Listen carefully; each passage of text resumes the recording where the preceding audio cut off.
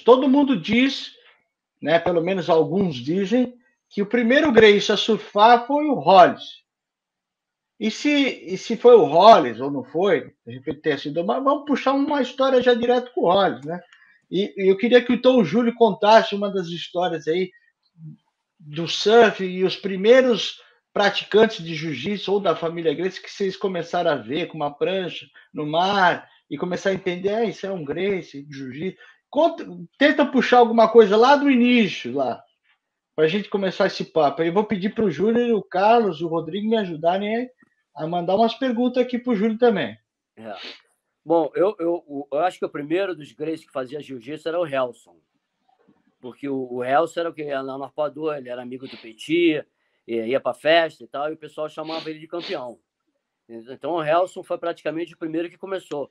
Mas como o, o jiu-jitsu era um troço que dava um condicionamento, o, o, o, surf dava um condicionamento físico bom, eu acho que o, Hollis ficou interessado né, pelo aspecto do condicionamento físico e uh, as manobras e bota o corpo para cá, bota o corpo para lá. Então ele ficou interessado nisso, e aí que ele começou a surfar.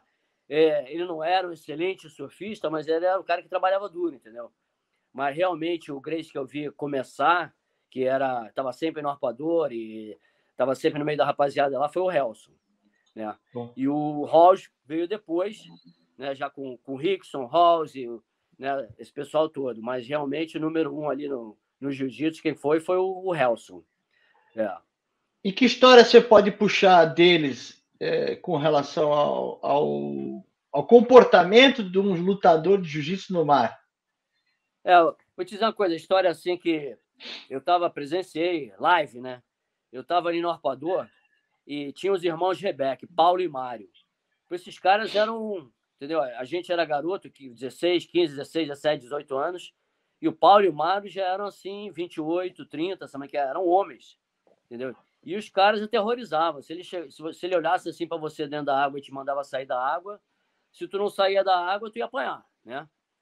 E era, era ali, eles, os caras meio, meio malucos, eles botavam um capacete para pegar onda, sabe? Eles eram bons surfistas, mas eram os caras completamente malucos, né? Naquela época tinha muita, muita droga, muito troço, entendeu? Tinha muito maluco ali.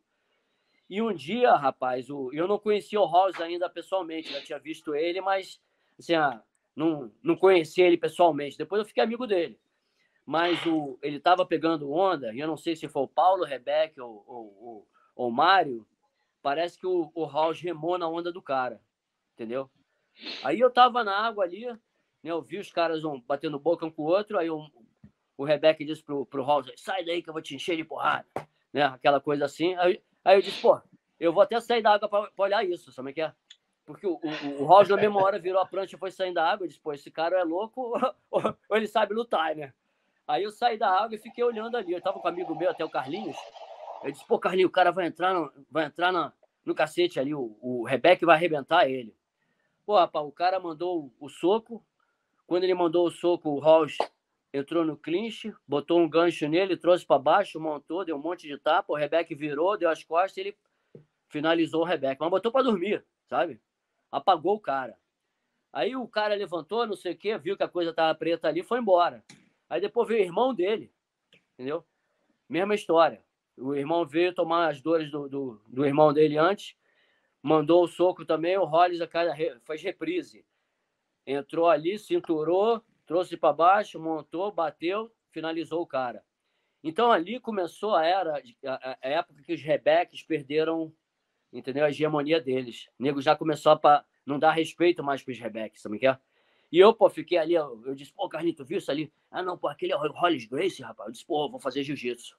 Vou fazer jiu-jitsu. E aí eu já fiquei na Caraca, demais, demais. Pô, rapaz, foi um troço assim, entendeu? Foi fora de série. Eu fiquei, eu, pra te dizer a verdade, eu fiquei impressionadíssimo. Eu nunca tinha visto aí, um cara assim lutar com um cara maior, mais forte, mais velho, entendeu? destemidamente, entendeu? Era, foi uma coisa assim que eu fiquei impressionado. Foi aí que eu comecei realmente a fazer jiu-jitsu. As duas foram no mesmo. As duas foram no mesmo dia? As duas, as duas foi, brigas. Foi no mesmo dia. dia.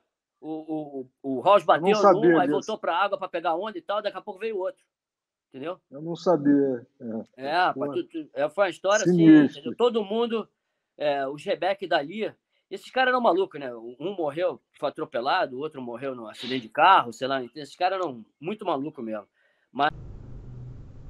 Fala pessoal, meu nome é Fábio Kiyotakawa, sou professor de Jiu-Jitsu, pesquisador da história do Jiu-Jitsu Vale Tudo MMA e também dirigi vários documentários sobre esse tema. Estou aqui para convidar vocês para participar do meu curso da história do Jiu-Jitsu e MMA. Você que é fã de artes marciais, é praticante e acha que é muito mais importante é, os aspectos filosóficos de transformação que a arte marcial pode trazer, esse curso é ideal para você. Entre em contato que eu tenho certeza que esse curso vai ajudar você a se transformar num artista marcial muito mais completo.